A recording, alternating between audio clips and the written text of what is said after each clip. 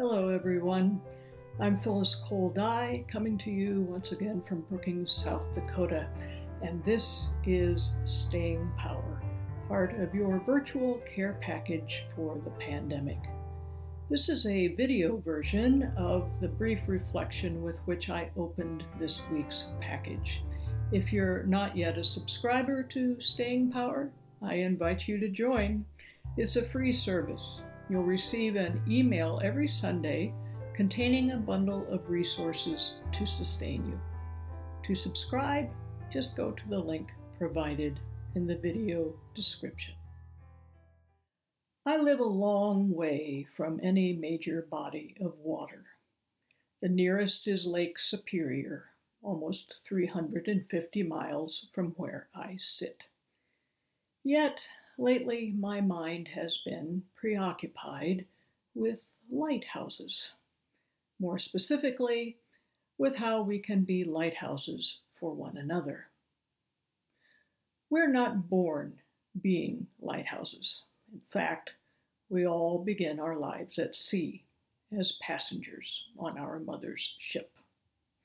In childhood, if we're lucky, we're content to frolic and play on deck as the ship rides the rolling swells. We don't give much thought to where we're going. As we get older, we graduate to the ship's crew. We work on mastering the skills necessary to keep our boat afloat and to skipper it safely from one harbor to the next. In due course, if our soul is stout, we might even become the boat. We carry incredible loads through life's stormiest waters without breaking apart. Over time, circumstances require us to move back and forth among these seafaring roles. When facing a debilitating crisis, for example, we might revert to being a passenger, relying solely on the care of others. When those we love are in trouble, we might step up as first mate or captain. We might even volunteer to be the boat. Whatever our situation out at sea, we're always blessed by the sight of lighthouses on land.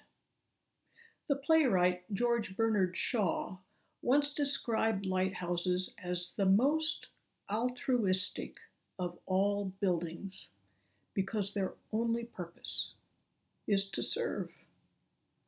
From the coasts of lakes and oceans, they shine up to 25 miles over the water, assisting navigators on their passage and warning boats away from jutting rocks and treacherous reefs. Most happily, they welcome vessels into port. Life has a way of building some people into living lighthouses. Like their actual counterparts, they seem to exist first and foremost to serve by their own free choice. They stand strong at the water's edge, casting their light of love and understanding of courage and hope through the dark. Their light is limited. They can't illuminate the entire sky. But what modest light they do offer, especially when joined to the light of others, helps guide us all to safety. It helps bring us home. Not all lighthouses look the same. Indeed, the more distinctive they are, the better. So while one lighthouse might be a tall white tower, another will be short and squat, or square, or eight sided, or painted with its own pattern of diamonds, stripes, or spirals. One lighthouse might be made of stone or brick, another of concrete steel, or cast iron. Even the shaft of light emanating from its lantern will have its own peculiar signature. It might be fixed and steady. It might revolve, flashing at different intervals or in unique rhythms or in diverse colors. The same is true of living lighthouses, no two alike, all of them valuable, all keeping watch over the world. I jotted down the names of some living lighthouses I've been guided by throughout the years. You might want to do the same just for fun. On my list were teachers, mentors, friends who have so steadfastly companioned me, farmers and healers, change makers and visionaries and creatives who have inspired me, clergy of many faiths, elders of many races, strangers into whose shaft of light I only ever bumbled once, but was forever altered. For as wonderfully one of a kind as these living lighthouses are, they share many basic traits. When I picture them as a group, this is some of what I see. First, they devote their light to others, not by controlling them or by telling them what to do, but by helping them to gauge where they are. Next, shining seems part of their nature. They can't not shine. They don't have to go anywhere or do anything special to accomplish their purpose. They just beam out from their little patch of earth. Next, they don't try to hide their light or pretend they don't have it or judge themselves unworthy to shine. Next, they don't call attention to themselves or what they do. They just go about their business as surely as the stars above. They regard themselves as utterly ordinary, humble instruments through which the gift of light can be magnified.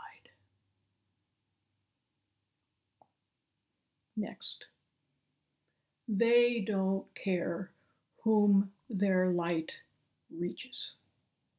No matter the ship or its flag or the identities of those aboard, they always shine the same. Next, they're comfortable standing alone in the dark. They even expect to. After all, lighthouses are rarely built right next to each other. But they trust they're in good, if invisible, company.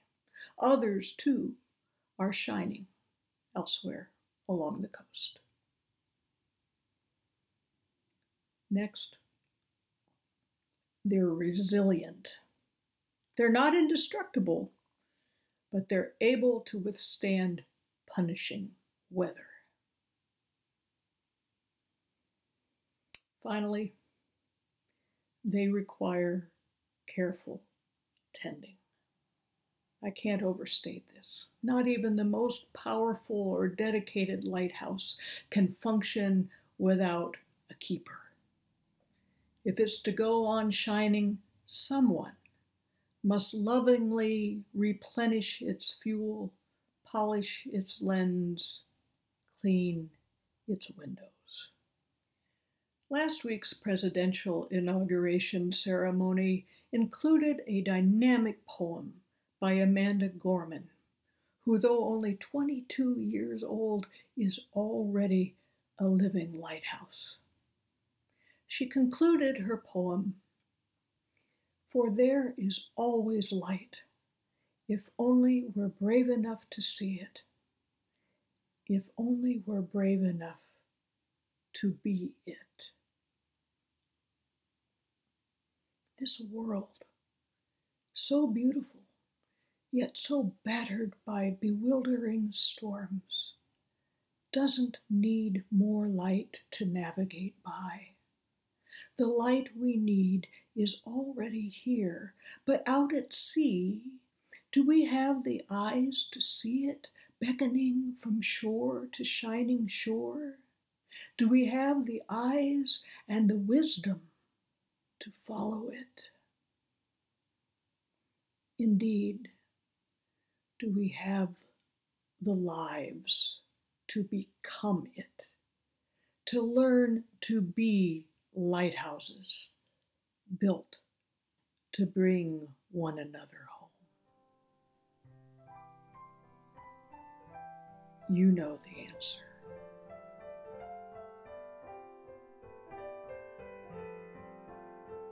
Remember, folks, you're not alone.